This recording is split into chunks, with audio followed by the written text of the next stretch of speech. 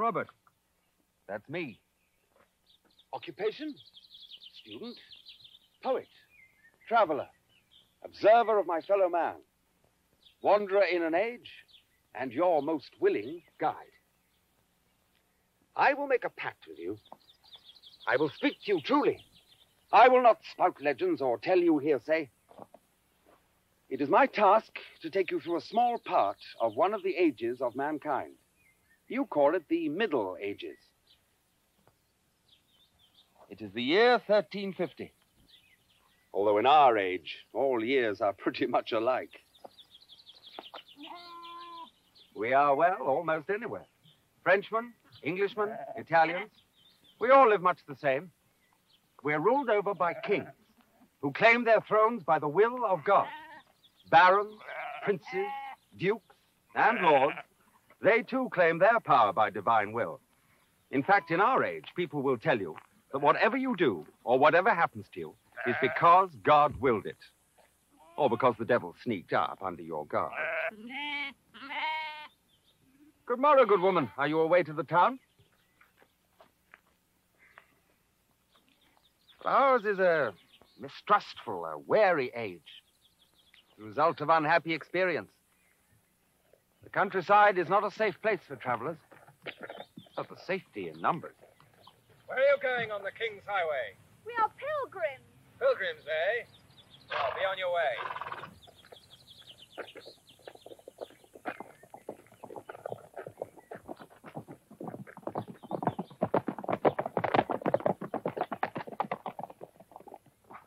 An ounce of caution is worth ten pounds of regret.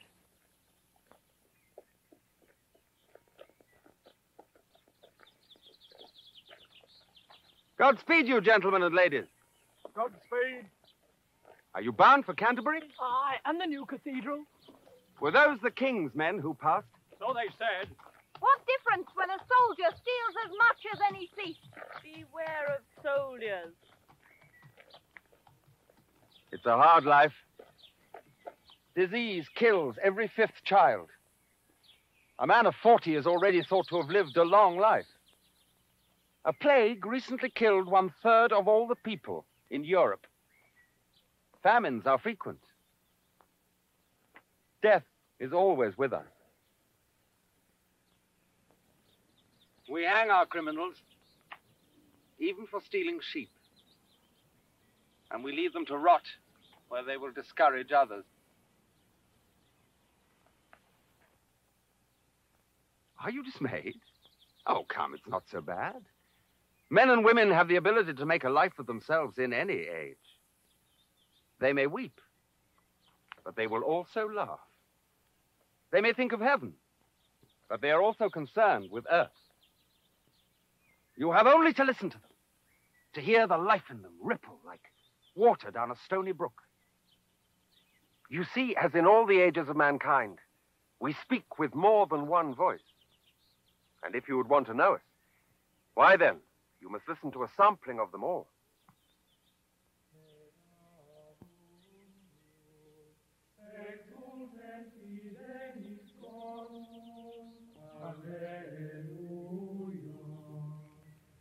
We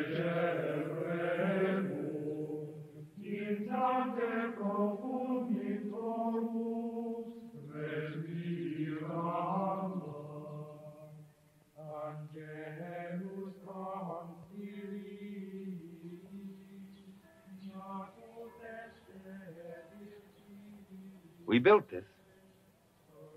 A cathedral. More, we invented it. Just like the university.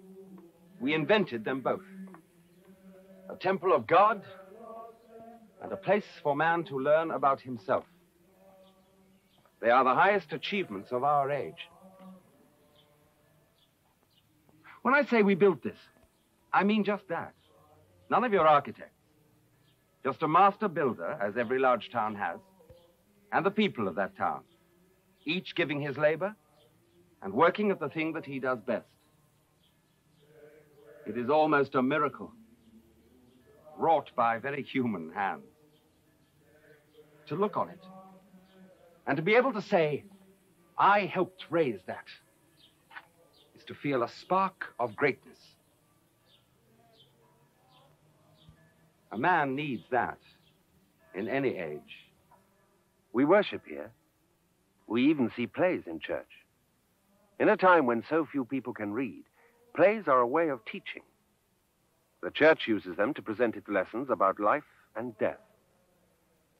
This is one of the religious dramas of our times called Everyman. It's to remind us that there is not only a today, but also an eternity. Good cheer, good neighbor. Every man stand still. Whither are you going thus gaily? Have you forgot your Maker? What messenger are you? I am death, who fears no man. For every man I take, and no man spare. For it is God's commandment all to me should be obedient. Oh, death, you come when I had you least in mind. Yet in your power it lies to save me. Of my money I will give you if you will be kind. Yes, a thousand pounds shall you have if you defer this matter till another day. Every man that may not be in any way. I set no store by gold nor silver, nor by pope, emperor, king, duke, nor prince. For if I would receive gifts great, all the world I might get. But my custom is clean contrary. I give thee no respite. Come hence and not tarry. Alas, shall I have no longer respite? I may say that death gives no warning. To think on you makes my heart sick. For all unready is my book of reckoning. It avails you not to weep and pray. Death, if I should this pilgrimage take, and my reckoning surely make, show me for Saint Charity. Should I not come again shortly? No, every man. If you be once there, you may never more come here. Trust me.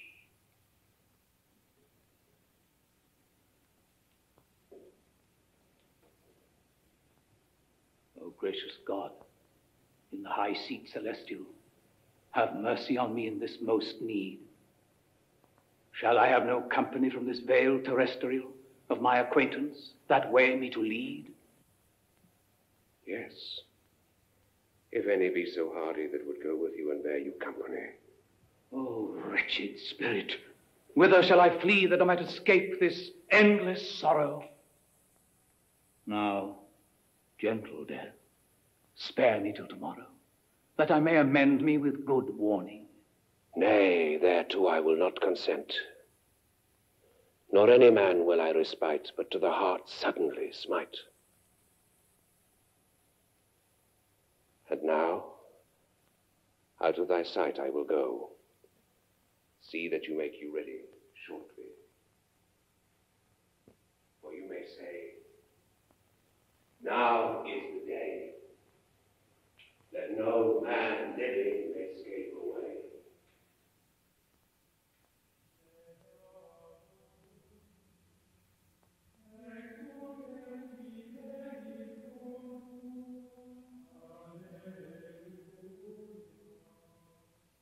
Oh, how we hope and pray our souls may go to heaven. But in the meantime, there is the business of living on earth. We call this a castle, or a keep. And a damp, drafty old thing it is. The nobility live in castles. You know, the ruling class. As a matter of fact, most of them have nothing to rule over except a pile of rocks. But still, they are lords and ladies. And by that very fact, different from the rest of us. Being different, they have to behave differently. and that is not always easy. So they have a code of chivalry, which all of them are supposed to respect as the rule of their lives. In these, shall we say, precarious times, Any and all rules of behavior are much needed. This is a very noble code indeed. There are even some who live up to it. A true knight will fight only on the side of justice and of God and to defend his honor. True knights will always be gentle and kind to lesser folk. The honor of a lady is sacred to a true knight. A true knight will always be merciful and kind to the weak, to children and women. Especially to ladies. In our time, the honor of ladies is to be considered. Well, it's almost their only protection. The law isn't very effective, and the church can only appeal to the conscience. So who and what is to stand between these weak creatures and the dangers and hardships of our world?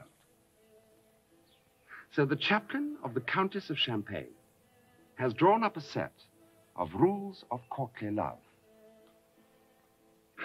Marriage is no reason for not loving. No one can be bound by a double love. No one should be deprived of love without the best of reasons. Hmm. Love is always a stranger in the house of avarice. God's blood. Where's the wench?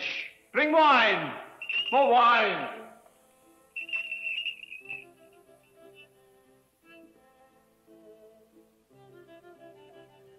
A true lover does not desire anyone but his beloved.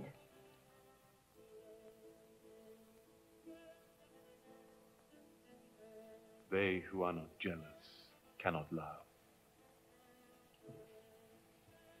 Every lover regularly turns pale in the presence of his beloved.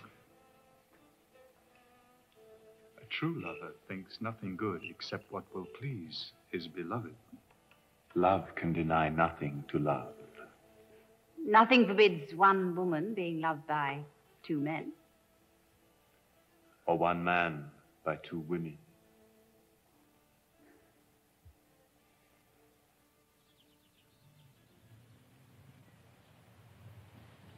Love. Is the deepest and most burning of feelings, and the most eternal of games. What man can call himself a poet unless he is first a lover? The greatest poet of our time is an Italian called Dante. Did you know that all of his writing was inspired by love for one woman, whom he never met?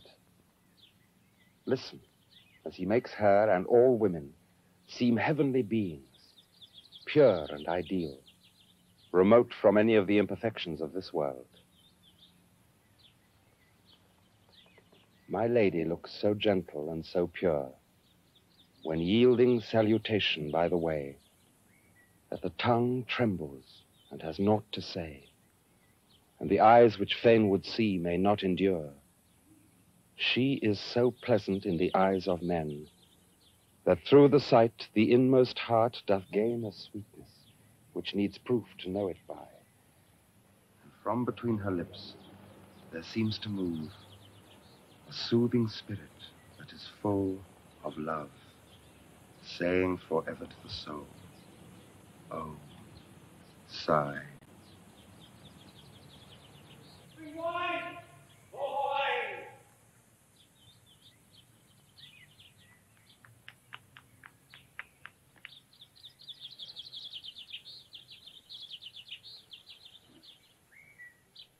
Well, it is the art of love to know the proper words to use for the proper lady. In our time, marriage comes at an early age. The church finds this an admirable manner for keeping young people out of trouble. Families encourage it. Most marriages are contracted for convenience. Marriage joins families.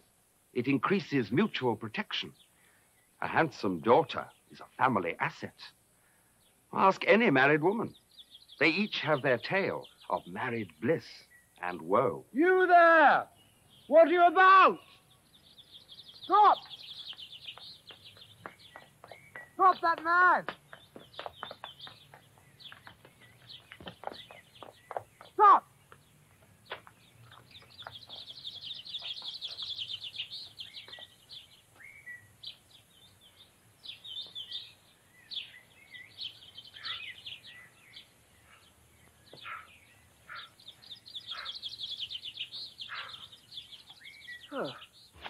Telling you?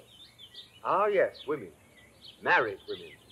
Their tales of married bliss and woe. The most colourful story is that told by the wife of Bath, a tale set down by Geoffrey Chaucer. Chaucer is the greatest storyteller of our age. The people in his Canterbury Tales are real people. You meet them all in everyday life. Master Chaucer and his characters are firmly on this earth, and none is earthier than Mistress Alison. And certainly no one knows more about married bliss and woe. Lord, since the time I was 12 years of age, thanks be to God forevermore alive, at the church door I've wedded husbands five, though church authorities might censure me, and all were worthy men in their degree. To tell the truth, these husbands that I had, three of them were good, and two were bad. But good Lord Christ, whenever I remember my youth, the fun I've had, and all the laughter, it tickles my heart's roots with pure delight. This very day, it makes my spirits bright that I have had my world in my own time. But age, alas, that poisons every prime, bereft me of my beauty and my juice. Well, let them go. The devil take my youth. The flower is gone. There's no more to tell. The dried up stalk, as best I can, I sell. But I'm a merry sort. I still can play. Now, of my last husband, I've more to say. My fifth husband, whose soul I pray God blesses, whom I took out of love and not for riches, had been a student for a term at Oxford, but he'd left school and come back home to board with my best friend, a lady in the town. God save her soul, her name was Alison.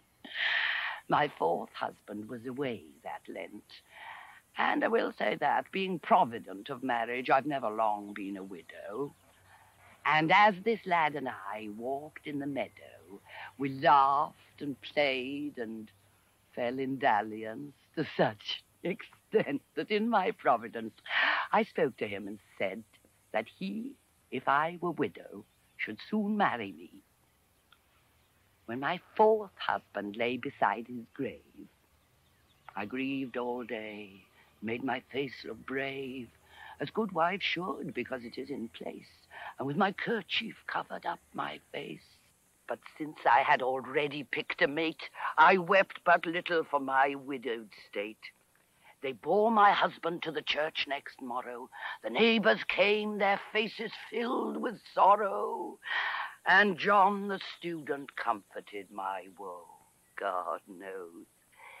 The moment that I saw him go after the corpse, I thought he had a pair of legs and hips so handsome, strong, and fair that all my heart I gave to him to hold and married him before the month was old.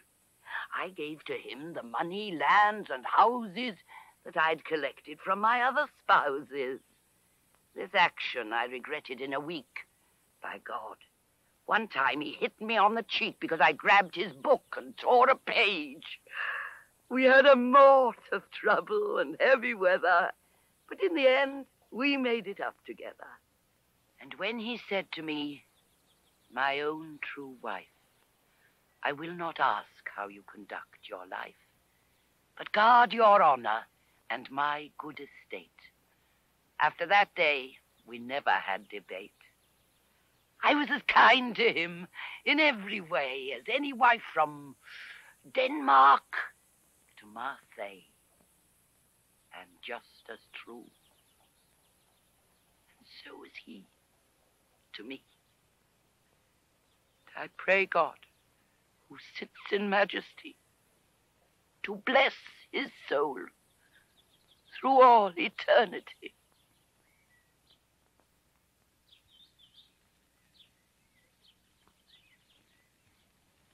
Ours is a simpler age. We see things more clearly. At least I think we do. Love and death, Two important ingredients in man's lot on earth. But there is a third money. It's market day in town.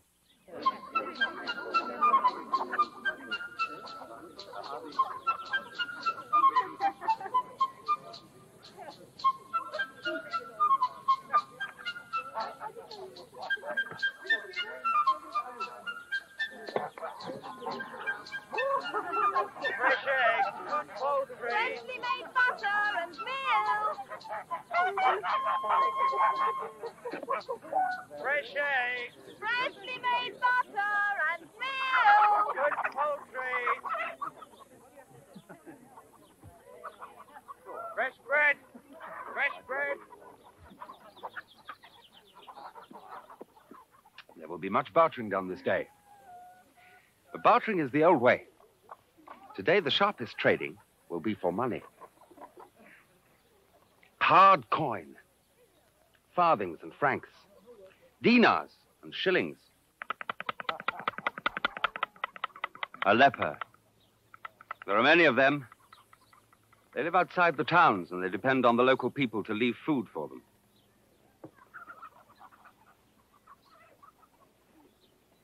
Times are in change. Towns are growing.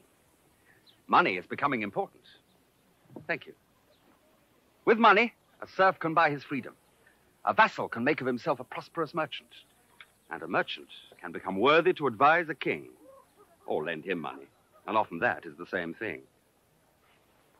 So money can ennoble, but it can also corrupt. There is a poem, much quoted among our students, which the unknown author called Sir Penny.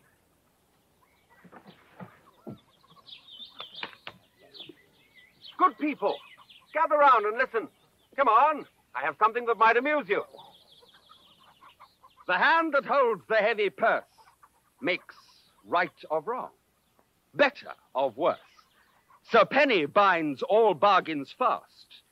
Rough is smooth when he has passed. Who but Sir Penny settles wars? He is the prince of councilors. Sir Penny's law no man can budge in courts ecclesiastic. Make room for Penny, ye who judge with consciences elastic. When Sir Penny's voice is heard, the sense of right is sadly blurred. The poor man seldom finds redress, whose one hope is his righteousness.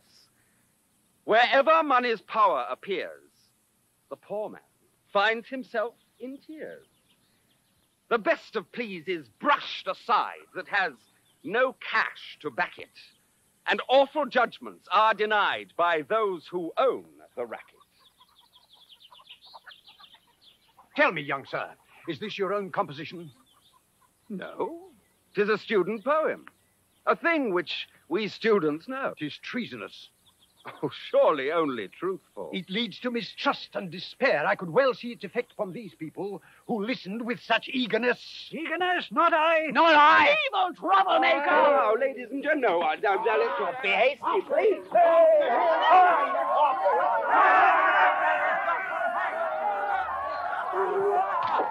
Ah.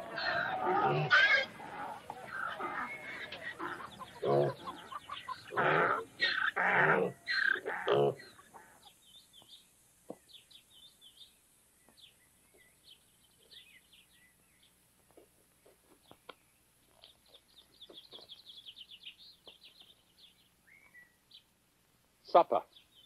A bad day indeed that did not bring in the midst of challenge its own opportunity.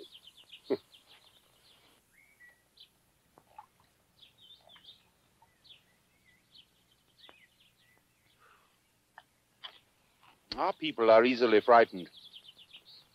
It's the unrest of the age and of the world. In times of plenty, people burst with joy. In times of despair, they droop with grief. In between, they peer with suspicion. It was always thus. But we have happy times, and it would be death without their relief. We play and sing and dance, and I declaim. Let's leave behind our studies. To play the fool is nice, Let's take the joys of being young before we pay the price. And let the old men give themselves their solemn good advice. We're bound to school books. What a bore when old age comes so fast. The spring is tempting, all the more because it will not last. To live, that is a joy in itself in any age. The accomplishments we leave behind, they give to man a kind of immortality. His poems, his words. These are the voices of his age. Well, I'm on my way. Farewell. You are good companions, but it's a long way from where I stand to where you are. Don't you agree? Or is it?